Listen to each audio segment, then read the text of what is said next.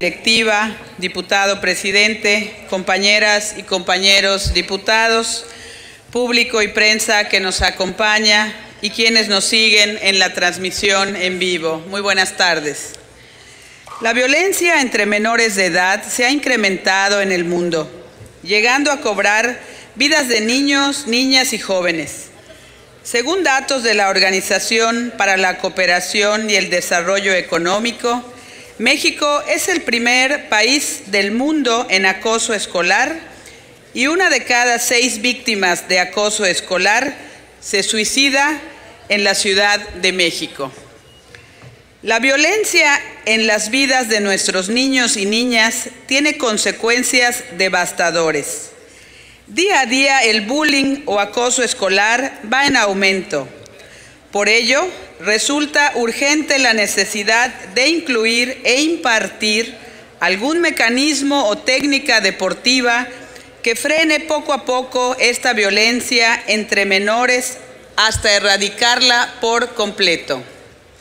Los especialistas en violencia escolar ubican a México como el primer lugar a nivel internacional en acoso escolar o bullying.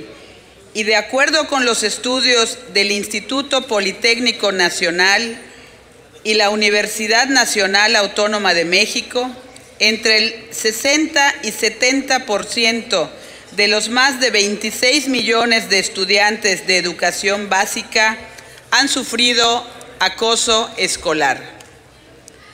Resulta alarmante el índice de menores que son víctimas del acoso escolar y además que se genera en uno de los principales ambientes del desarrollo humano, debiendo ser el ámbito escolar un espacio idóneo para propiciar el desarrollo físico y emocional de los niños, niñas y jóvenes, preservando su integridad y el respeto. De acuerdo al INEGI, Quintana Roo ocupa el tercer lugar en acoso general, escolar o bullying, laboral o mobbing, sexual, ciberacoso o ciberstalking y físico o stalking, solo superando por Aguascalientes en primer lugar, seguido del Estado de México en segundo lugar. Existen diferentes maneras de resolver el problema de la violencia en las escuelas. Una de ellas es la implementación de ejercicios de relajación física y mental usados por disciplinas como el yoga o el tai chi chuan, orientados a prevenir, evitar o erradicar la violencia, el hostigamiento y la intimidación entre alumnos de nivel básico, medio y medio superior del sistema educativo del Estado de Quintana Roo. Una técnica de relajación es cualquier método, procedimiento o actividad que ayudan a una persona a reducir su tensión física o mental. Generalmente permiten que el individuo alcance un permiten que el individuo alcance un mayor nivel de calma, reduciendo sus niveles de estrés, ansiedad o ira. La relajación física y mental está íntimamente relacionada con la alegría, con la calma y con el bienestar personal del individuo. En tal sentido, es que presento esta iniciativa de reforma a la Ley de Educación del Estado para establecer como herramientas contra el bullying distintos métodos de relajación, disciplinas como el yoga o el tai chi chuan, ya que las posturas físicas, el control de la respiración y la meditación que son parte de su práctica son métodos eficaces para mitigar la ansiedad, eliminar el estrés y malos hábitos, ayudando a reequilibrar el cuerpo físico, emocional y mental. El yoga es una disciplina que sirve para cultivar el cuerpo, la mente y el alma. El yoga nació en la India y es una práctica de meditación muy común. En el yoga cuerpo, mente y espíritu se fortalecen y serenan con la práctica de las asanas, de las posturas, la respiración y la meditación.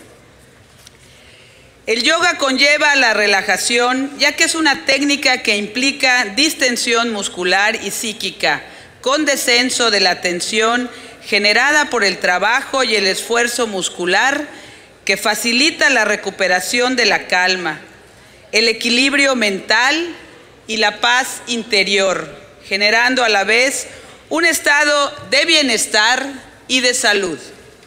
El Tai Chi Chuan tuvo su origen en China como un arte marcial, pero en la actualidad se ha convertido en una práctica físico-espiritual para mejorar la calidad de vida tanto física como mental. El Tai Chi Chuan se ha convertido en una actividad muy popular en los parques de las ciudades y se puede observar por las mañanas a miles de personas ejercitando sus movimientos lentos y fluidos. Así viven los chinos, trabajando permanentemente sus temas de paz física, mental y espiritual. Y mucha falta nos hace aquí a los mexicanos tener a toda nuestra gente en los parques, en las escuelas, trabajando estos temas que son vitales.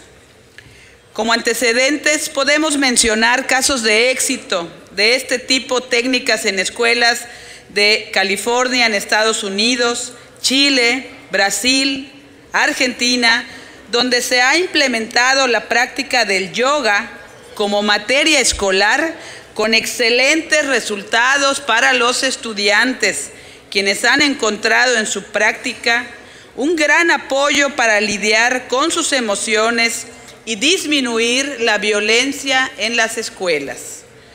Trabajemos por los niños, las niñas y toda la sociedad con salud física, mental, libres de estrés, de ira, de violencia, para lograr una sociedad con armonía y paz.